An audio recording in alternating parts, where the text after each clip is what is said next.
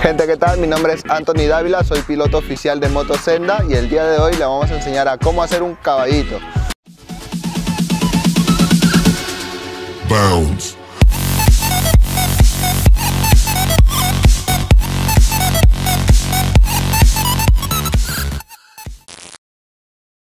Hoy día tenemos una Viper 250 DKR modificada para Stu y una Viper 200 DKR estándar. Para empezar lo que hacemos es poner la moto en primera con el embrague presionado a fondo, aceleramos a unas 6000 revoluciones más o menos y soltamos el embrague de golpe. Eso hará que la moto se levante hasta cierto punto. De ahí la controlamos con la aceleración y el freno. Una vez que tengamos la moto arriba, lo que debemos hacer para que no se baje es mantenerla acelerada. Una vez que ya la tenemos en un punto de equilibrio, lo que debemos hacer es para que no se nos vaya hacia atrás y no nos caigamos, tratar de controlarla con el freno. Entonces, cada vez que la moto se quiere ir hacia atrás, frenamos. Sentimos que quiere bajar, aceleramos. Y ese es el juego constante del caballo, acelerar y frenar.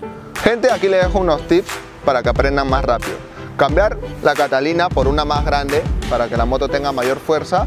Tener el freno posterior preciso. Eh, ¿Qué más,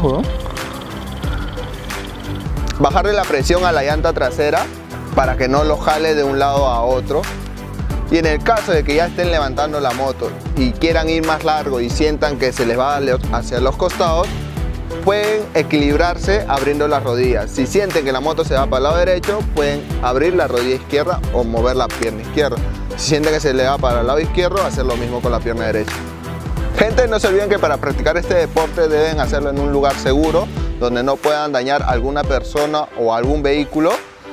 Y no se olviden usar también lo que es casco, guantes y rodilleras. En este caso yo estoy usando un casco LS2, unos guantes escoico y un pantalón que tiene rodilleras y protector de nalga.